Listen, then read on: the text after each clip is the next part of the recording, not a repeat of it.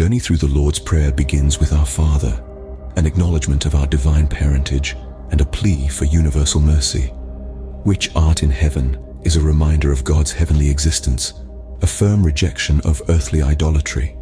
Hallowed be thy name is our vow of loyalty, a pledge of allegiance to the divine.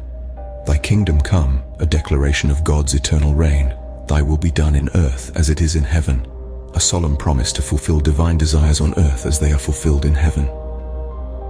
Give us this day our daily bread, a humble request for provision, a reminder of our dependence on divine providence, and forgive us our debts as we forgive our debtors, a plea for mercy, contingent on our own mercifulness towards others.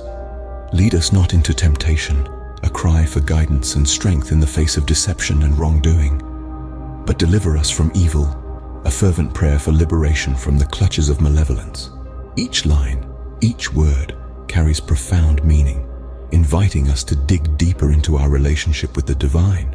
So let this exploration be an invitation to a richer understanding and a deeper connection with your faith.